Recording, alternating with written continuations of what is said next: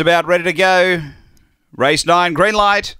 Set to race Victory Club, the hot pot, box one, $1.50.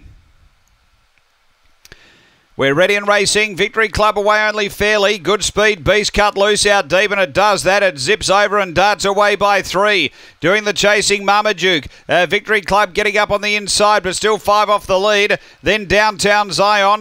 Uh, next, El Wample back toward the tail. Uh, front in front is Beast cut loose. It's clear of Victory Club, and Beast cut loose beats. Uh, Victory Club, third home Aston Radar, and fourth downtown Zion, then Marmaduke and El Wample. Time here is around uh, 22 and 10.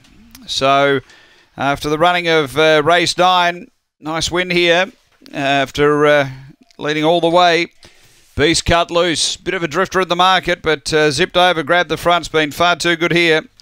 Number seven uh, for Craig Yench. Second, um, going the way of one, which is Victory Club for Rob Harness. And third to four, Aston Raider for Tracy Price. The interim numbers here.